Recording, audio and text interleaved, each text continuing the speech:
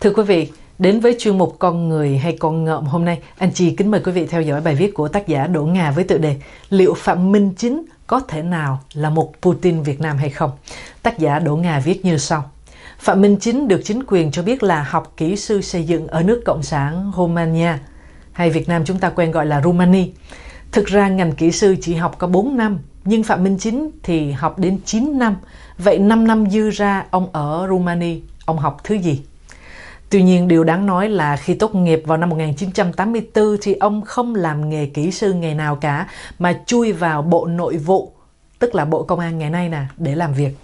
Được 5 năm thì ông chính được phân vào Bộ Ngoại giao và công tác tại Rumani.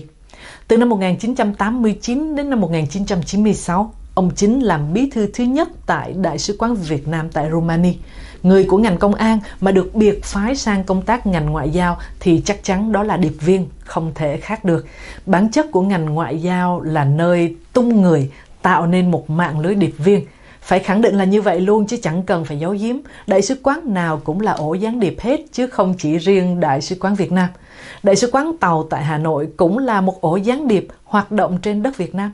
Nó luôn tìm mọi cách để kiểm soát ngành tình báo Việt Nam và qua đó nó khống chế Bộ Chính trị. Nếu mà tình báo Việt Nam yếu thế thì tất cả Bộ Chính trị bị kiểm soát. Năm 2006, Phạm Minh Chính nắm chức Phó Tổng cục trưởng Tổng cục Tình báo Bộ Công an. Rồi năm 2007 thì được phong quân hàm thiếu tướng công an. Đến năm 2010 thì được phong trung tướng công an. Trời, sĩ quan tình báo mà lên hàng tướng thì đó phải là điệp viên cao cấp rồi. Điệp viên này hoàn toàn có khả năng làm nguyên thủ quốc gia. Nếu con người này mà trở thành điệp viên hai mang thì rất là tai hại cho tương lai của đất nước này. Loại điệp viên này nếu mà mua được thì giá bao nhiêu tàu nó cũng sẵn sàng chi. Đến năm 2011, Phạm Minh Chính được đưa về làm bí thư tỉnh Quảng Ninh. Trong thời gian này, ông ta kết nối rất tốt với phía Trung Cộng, xúc tiến việc xây dựng đặc khu kinh tế Vân Đồn. Tập Cận Bình còn cử cả cố vấn của mình là bà giáo sư Đào Nhất Đào sang giúp Phạm Minh Chính thực hiện dự án. Đến tháng 4 năm 2015, ông Phạm Minh Chính về làm phó ban tổ chức Trung ương và chỉ sau 7 tháng, ông vào Bộ Chính trị và nắm chức trưởng ban tổ chức Trung ương. Đến đại hội 13 thì khả năng là nắm ghế thủ tướng.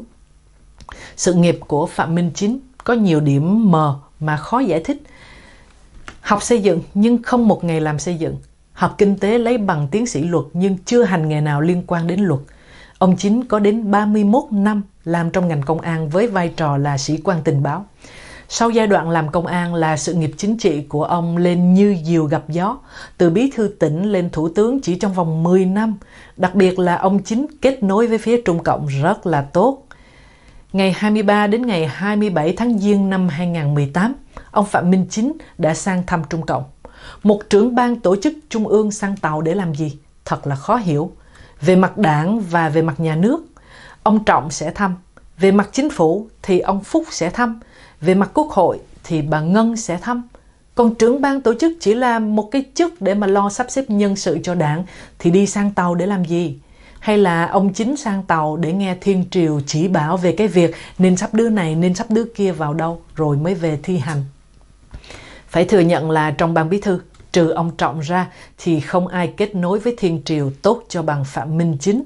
Và đáng ngạc nhiên hơn, kẻ thân tàu Phạm Minh Chính lại có thể từ ban bí thư lại nhảy ngang qua chính phủ đánh bại hai ứng viên nặng ký là Trương Hòa Bình và Vương Đình Huệ. Nhảy trái tuyến mà đánh bại hai kẻ đi đúng tuyến thì ắt là phải có trợ lực rất là lớn. Câu hỏi đặt ra là ai, ai đã trợ lực cho Phạm Minh Chính là trong đảng hay ngoại bang? Thật sự đó là những câu hỏi mà khó có câu trả lời thỏa đáng.